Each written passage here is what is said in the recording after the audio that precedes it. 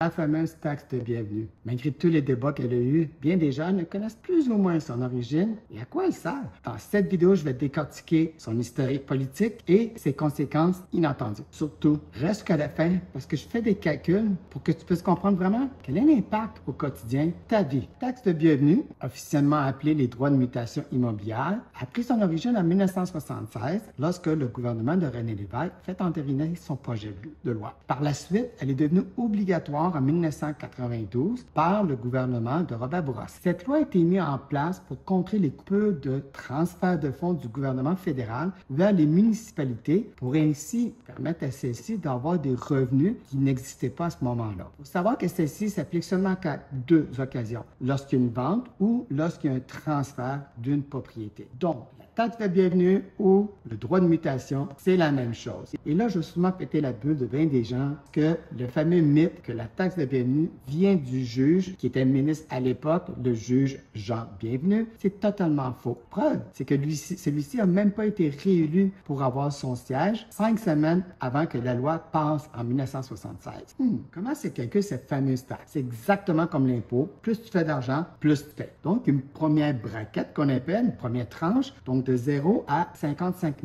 200, on paye un demi-pourcent sur le montant qu'on achète. Donc là, 1976, ça faisait du sens. Là, aujourd'hui, évidemment, les chiffres sont très débalancés. je continue. La deuxième tranche de 55 500 jusqu'à 262 500. La troisième tranche, 262 500, jusqu'à son maximum, jusqu'à la valeur de la propriété. Évidemment, les villes vont prendre la valeur la plus élevée entre le compte de taxes existant et la vente de la propriété. Il y a une quatrième tranche qui est optionnelle. Les villes ont le droit de racheter un quatrième palier à leur discrétion. C'est pas obligatoire. Faisons des calculs savants. En 1976, la médiane des propriétés, une maison unifamiliale, à Montréal était de 96 000. Donc, je suis allé sur le site taxedebienvenue.com, pas des jokes, je vais même vous le mettre dans le commentaire, taxedebienvenue.com, et j'ai calculé, propriété 96 000, on paye 666 pièces de taxes de bienvenue. Le 666 pièces en 1976, aujourd'hui, c'est l'équivalent de 1271. Avec l'inflation bien entendu. Je vais aller faire un deuxième calcul. Je vais aller chercher la valeur médiane des propriétés à Montréal en date d'aujourd'hui, qui est environ 534 000. Je vais aller sur le site taxedebienvenue.com. J'ai fait un calcul et ça nous donne un compte de taxe de bienvenue à payer de 6 187.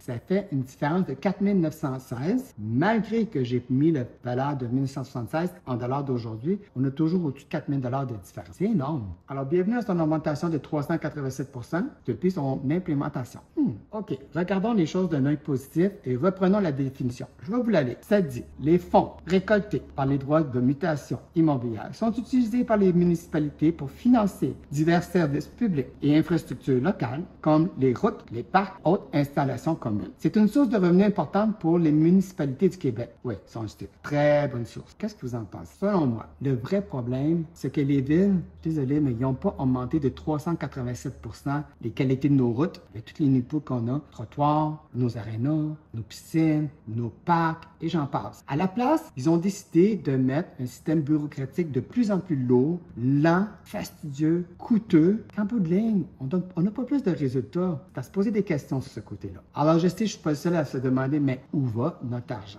Alors, si vous avez des recommandations à savoir, qu'est-ce que la ville devrait faire avec notre 387% d'augmentation de la valeur des taxes de bienvenue depuis que ça a été implémenté? Mettez-les dans les commentaires, partageons, ayons une voix. Et si vous êtes d'accord avec ma vidéo, pourquoi justement ne pas la partager, qu'on puisse être entendu? Peut-être un jour on fait une différence. Et à tous ceux qui disent, moi je propose d'éliminer la taxe de bienvenue. Keep dreaming, comme on dit. Ça n'arrivera pas. les villes ont bien trop besoin de cet argent-là. Alors, il faut trouver une solution autre qu'éliminer la taxe de bienvenue, parce que ça fait trop un débalancement dans les budgets. Et qu'est-ce qu'on coupe là? On va le chercher ailleurs. Fait qu'en bout de ligne, on va le payer pareil. À la place, allons regarder la gestion à l'interne. Selon moi, c'est la solution à avoir. Vous êtes toujours là, donc vous avez sûrement apprécié. La façon de le dire, c'est faites le pouce par en haut, le fameux like. Mais avant de partir, pour ne rien manquer des prochaines capsules que je vais faire, allez vous abonner sur ma chaîne. Ça, je vous souhaite une excellente journée. À la prochaine.